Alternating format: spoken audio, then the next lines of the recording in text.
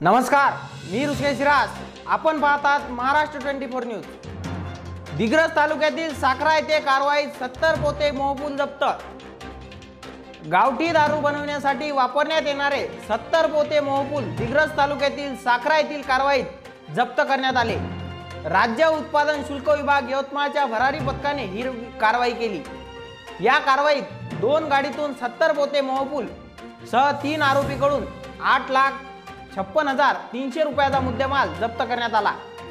यवतमाळ येथील राज्य उत्पादन शुल्क विभागाच्या भरारी पथकाने रात्री दरम्यान केलेल्या या कारवाईमुळे अवैधरित्या गावठी दारू गाळप करून विक्री करणाऱ्या अवैध व्यावसायिकांमध्ये खळबळ उडाली आहे. अफजल खान सुरेश चिडे यांच्यासह मी रुस्की रास Maharashtra twenty four news Digras Yavatmal. आमच्या बातम्यांचे पुढील अपडेट्स मिळण्याकरता आत्ताच आमच्या चॅनलला सबस्क्राईब करा आणि बेल आयकॉनवर क्लिक करा. धन्यवाद.